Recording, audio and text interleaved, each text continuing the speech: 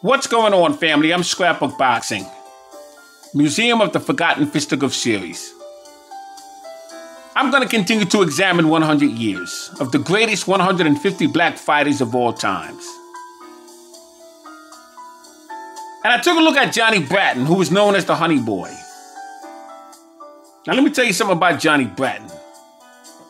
My grandfather and father knew him well. In fact, my father had a locker in the same aisleway in Stillman's gym as Johnny Bratton.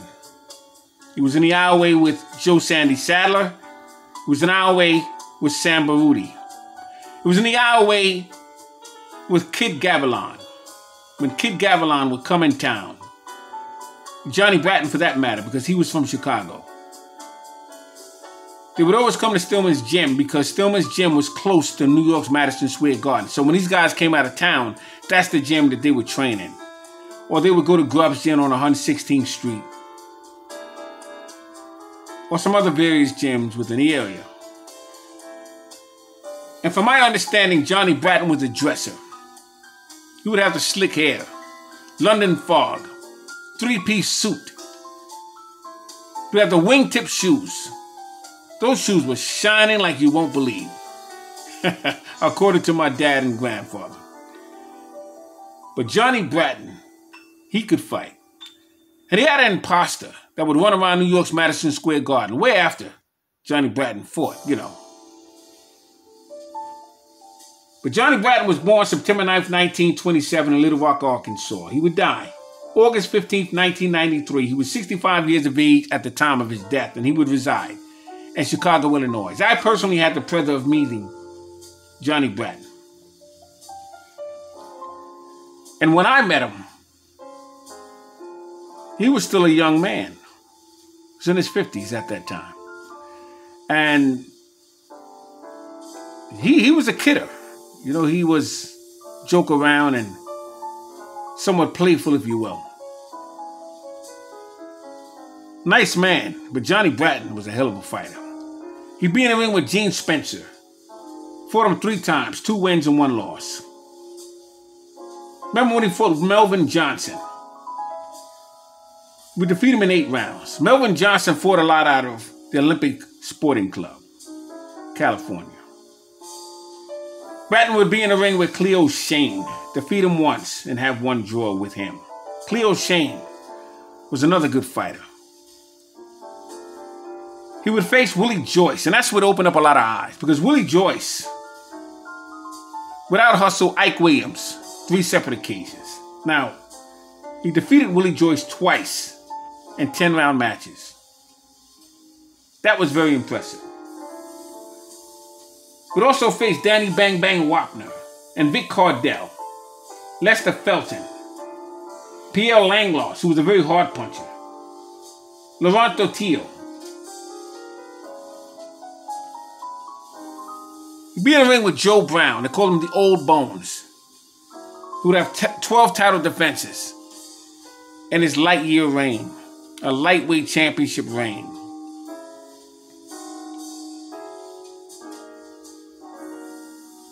But Johnny Bratton would lose eight rounds to Beau Jack because he would suffer broken jaw in Chicago.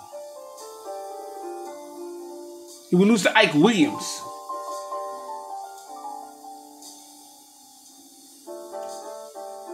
Ike Williams was a hard puncher, but he was a lightweight champion. And Johnny Bratton would be in there with Ike Williams for nine rounds. And he would fight almost the entire ninth round with a broken jaw. He'd be in there with Kid Gavilan, Ruby Goldstein. Would be the referee for that fight. He would fight the entire fight with a broken jaw. You see, Johnny Bratton had brittle hands, and his jaw never healed in between fights. He was a warrior. He would spit out gobs of blood when he got back to the locker room. And he would swallow blood most of the time to prevent from having a referee to stop in the fight. You see, that's how the men were during those days. They wanted to fight. They didn't want the fight stopped. They didn't want any excuses. They would continue to perform until they were literally knocked out, if need be. Now, when he fought Ike Williams, was at the Coliseum Arena, New Orleans. Then he would fight him in Philadelphia. March 14, 1951. He would defeat New Jersey's Charlie Fusari. And that would be for the NBA welterweight championship strap. Now, Charlie Fusari would be Ray Robinson's last welterweight title defense. Ray Robinson would give up the belt because he wanted to challenge Marcel Cerdan. Instead, he would wind up meeting Jake LaMotta. And he faced Jake LaMotta six separate occasions.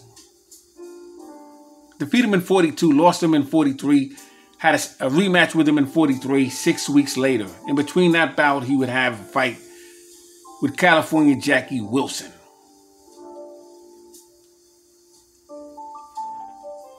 I'm speaking of Ray Robinson. But Johnny Bratton would win the NBA welterweight championship crown in front of 6,954 spectators. May 18, 1951, he would lose 15 rounds to Kid Gavilan. And in the fifth round, he would suffer a broken jaw. Ruby Goldstein, keep a close eye on that hanging jaw. And as I stated, Johnny Bratton would swallow blood. And he would spit out gobs of blood in the bucket in between rounds. And when he went back to the locker room, he would be nauseous and be dizzy. But he would continue to fight because that's how these men fought. That's just how it was. November 28, 1951, he would draw 10 rounds with Kid Gavilan. You see, Kid Gavilan was another fighter.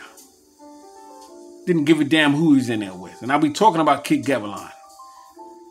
Because he will be listed in this series as well. But he had a fight in 1952 in Philadelphia, the hometown of the great Gil Turner. My God, what a fight that was. And it's fights like that that made the 40s and the 50s special.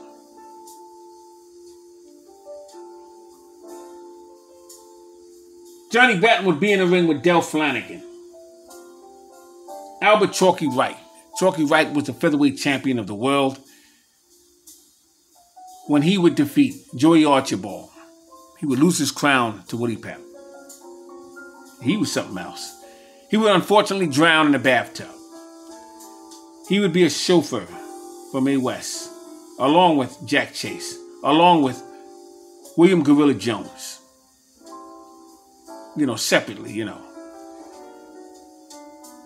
But Johnny Bratton must be placed on this list. 100 years. The greatest 150 black fighters of all time. Shout out to Johnny Bratton. John Henry Lewis. Now, this was a fighter. He was born May 1st, 1914, Los Angeles, California. He died April 18, 1974. He was 59 years of age at the time of his death, and he would reside in Phoenix, Arizona. Now, he stood 5 foot 11 inches, had a 75 and a half inch reach. He was a light heavyweight, had a total bout career of 116 fights, 100 wins, 56 knockouts, 11 losses. He was stopped once by Joe Louis in 1939. And he would have five draws. Now, John Henry Lewis was something else. He was something else. Now, LL Cool J's adopted mother had a brother by the name of John Henry Lewis. And LL Cool J's,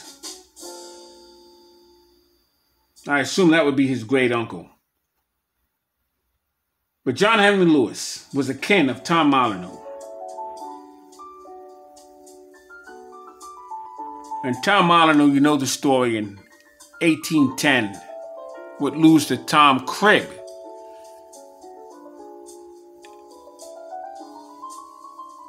And Tom Molineaux was something else. He was the second black fighter. In fact, he was the second fighter from America. Bill Richmond was the first. And they both happened to be black fighters. But John Henry Lewis would be in the ring with Jimmy Braddock. At the time, Braddock had a record of 42 fights, or 42 wins, 18 losses. He was in the ring with Bobby Brown and Izzy Zinger. October 31st, 1935, he would take on Bob Olin, St. Louis, Missouri.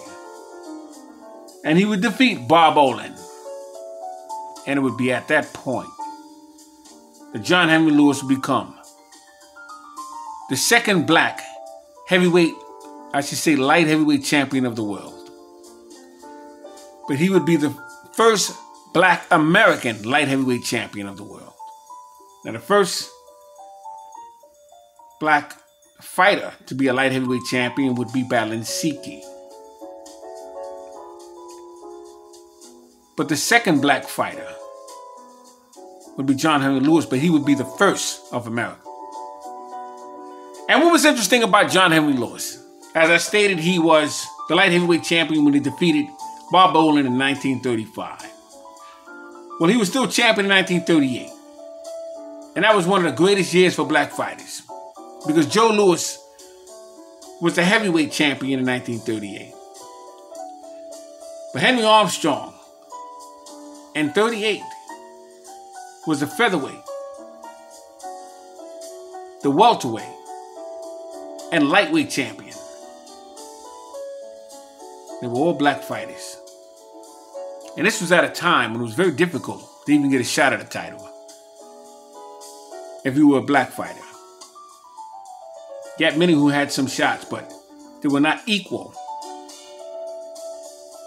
And this is all part of the history of the black fighter when we do these series.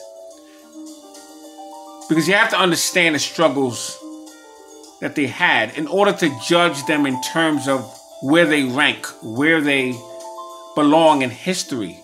And in this series, we're choosing 150 greatest black fighters. And these fighters in the 30s and the 40s cannot be compared to today's fighters because today's fighters don't have the struggles. They can pick and choose who they want to fight. They can pick up belts and drop belts, and there were about 20 belts. So they're different in terms of their resume. But John Henry Lewis was in there with some great fighters. And he himself was a great champion and he must be added to the list. 100 years, 150 greatest black fighters of all time. I'm going to be tough on this list. Curtis and I both took our time and made sure that we tried to choose the best qualified fighters. And it's for their time. It had nothing to do with what other era we're competing them against.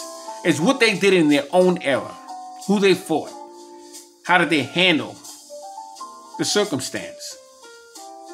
We're quite aware that there were not opportunities for certain fighters that were available to others. But it's what you did with the opportunities that you had. And that's how we're judging. You. So, Scrapbook Boxing, Museum of the Forgotten Fisticuffs series. 100 years of the greatest 150 black fighters of all times. All great fights and all great fighters will never be forgotten on my channel. Thanks for hanging in with me. Till the next video. Enjoy your night.